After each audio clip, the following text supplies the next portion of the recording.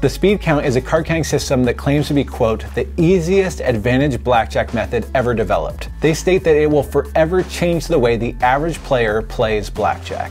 In this video, I'm gonna explain what the speed count is, how it works, and how well it performs.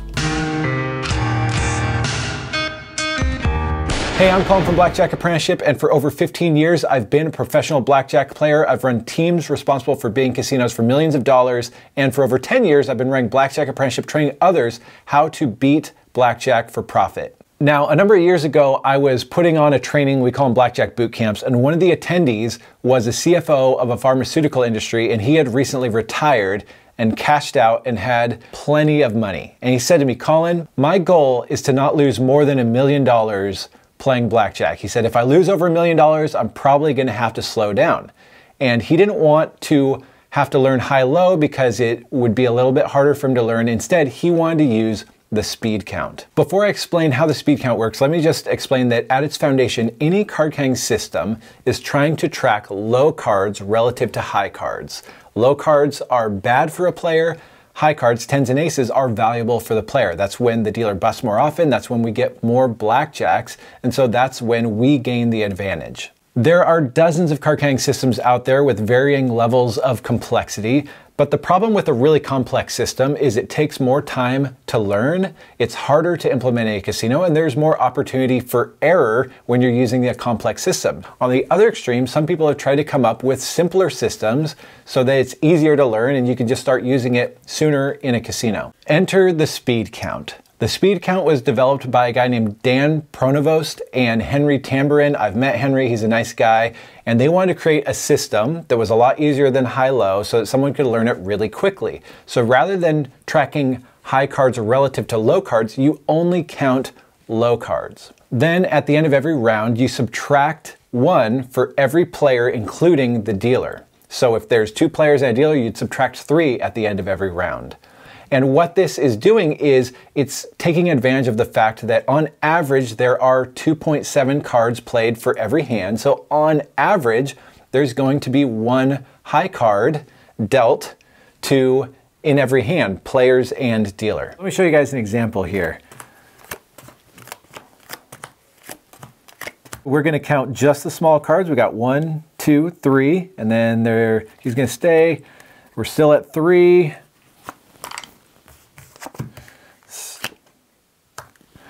we got three, but then we're gonna subtract for the three hands that were played and we'd be at a running zero. The idea is if you're counting the low cards and then subtracting one for on average one high card for every hand, then you will know when there is a surplus of high cards remaining to be dealt in the shoe, you have the advantage, you bet more. But here's the catch. There are times when both small and high cards are coming out at the same rate, but there's just a surplus of sevens, eights, and nines remaining to be dealt in the shoe. In those situations with the speed count, you're actually raising your bets when you do not have the advantage. But with all that being said, we trust in the math. So let's look at the math of how the speed count performs. I ran a bunch of computer simulations using CV Data, which was created by Norm Wattenberger. A special shout out to Norm. Congratulations on being nominated for the Blackjack Hall of Fame recently. And thank you for your software and your help with this. I couldn't have run these simulations without you. So with a fairly common blackjack game using a pretty aggressive 1 to 20 bet spread, the speed count produced an expected hourly win rate of $14 per hour with a $50,000 bankroll, which I'm sure most people watching this don't all have a $50,000 bankroll, this still came out to a risk of ruin of nearly 17%. What that means is one out of every six speed count card counters would lose their entire $50,000 bankroll while generating less than $15 an hour in expected value.